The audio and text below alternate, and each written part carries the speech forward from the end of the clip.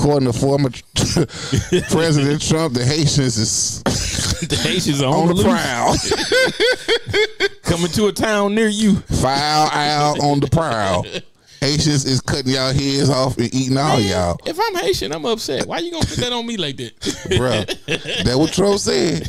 Trump said them Haitians out there, they, they grabbing up folks' Like- pets. like like I don't like a little shrimp and steak myself. Right, it gotta Yeah. be cat dog for me. You, you, you, you was mad at your dog Dookie? If he, he ain't run away. Dookie ain't here no more. He ain't run away. goddamn Hey, you, him. you know how you know how neighbors like to give you stuff when you just move in the neighborhood. you better They watch got- what you eat. according to the goddamn Haitians got him. so y'all, we- this is a good watch party. Y'all, we gonna watch out for every animal.